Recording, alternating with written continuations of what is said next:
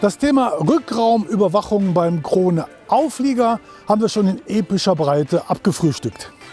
Also das Erkennen eines Hindernisses mittels dreier Ultraschallsensoren und das automatische Einbremsen des Fahrzeugs 50 cm vor der Betonrampe. So ist das Heck deines Aufliegers in idealer Weise geschützt. Und wenn das Hindernis ein Kind auf einem Roller ist, dann wird sogar Leben geschützt.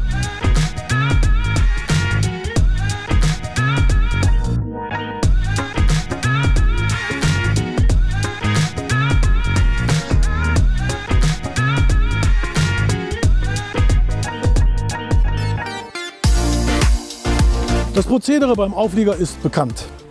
Je näher das Fahrzeug sich der Betonrampe nähert, umso höher frequenter blinken die Umrissleuchten, gehen dann über in ein Dauerlicht und das Fahrzeug wird automatisch eingebremst.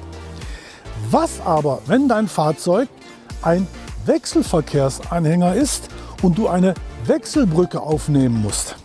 Dann hast du das Problem, dass die Rückraumüberwachung die Beine deiner Wechselbrücke auch als Hindernis erkennen und das Fahrzeug dann auch automatisch einbremsen. Und dann wird es nichts mit dem Aufpritschen.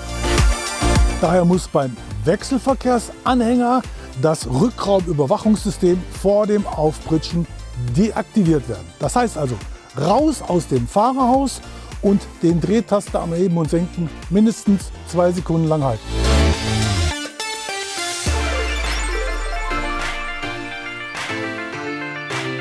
Oder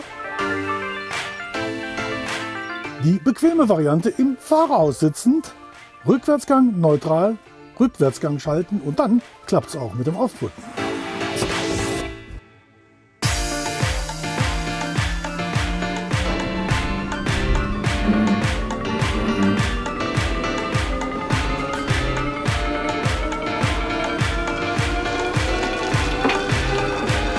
Gut, passt.